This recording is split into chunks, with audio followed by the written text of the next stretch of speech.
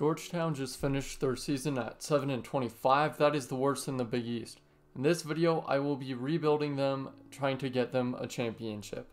Here is the new coach of the Georgetown Hoyas, Jackita Claps. He is really hoping to turn this program around.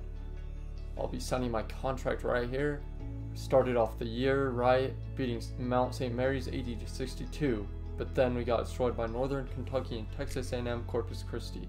We finally got a win against UTSA, but then we were back to getting destroyed by Oklahoma State, even Dartmouth. Kept simming games and we were just getting blown out. UMBC even did, decided to blow us out.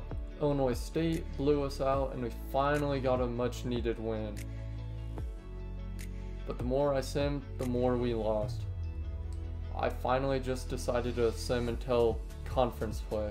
Old Dominion beats us. And look at this, Nebraska beats us 47 to 104.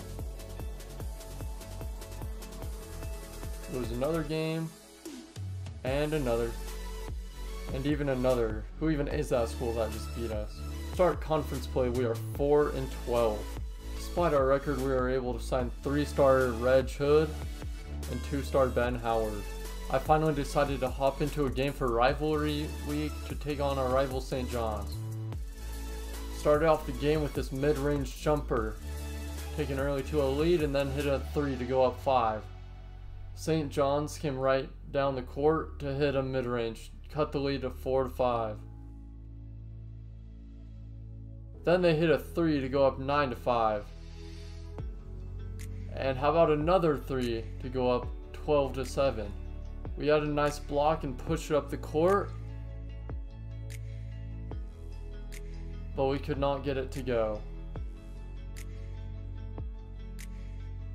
St. John's was having everything easy as they found someone inside to go up 14-7. Found a wide open three but just could not knock it down. We got a nice steal here. Pushed it up the court. Could not finish, but he got his offensive rebound and put it up and in. How about another steal? Pushed it all the way up the court and had an easy layup. Cut that lead to 14-11. Dumps it inside. Find number 11. Now it's only 14 to 13. They came down the court, hit a mid-range. Three seconds to go. We push it up the court and hit a deep three at the buzzer to tie it up. St. John's drove in for an easy layup right there. Heath hit not only one three, but came off of this block, pushed it up the court, and hit another three.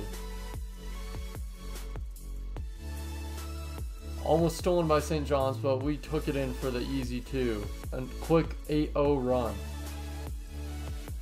Looked like a travel there, but St. John's puts it up and in. We came right back and had an easy life of our own. How about Murray with that acrobatic finish? They kept fouling, but we dumped it inside for the easy two. And insult to injury hit the three as we would win 25 to 37 against St. John's. I simmed the rest of our conference games lost to Providence, lost to Connecticut, and lost to Creighton. Get blown out by Marquette and Villanova, another blowout loss to Providence.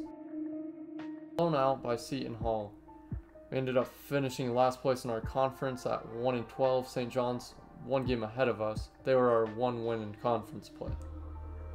We lost to DePaul in round one of the Big East tournament. Creighton ended up defeating UConn to win the Big East tournament. Not only did they win the Big East, they also won the national championship. Here we got our recruits, 3-star Reg Hood, 2-star Nathan Gaines, 2-star Ben Howard, 2-star Grant Williams, and 2-star LeVar Copeland. We got some big freshmen here that could see some early playing time. And the big one, 3-star 71 overall freshman Reg Hood. The question is, will this be enough to lead Georgetown to compete in the Big East in year two?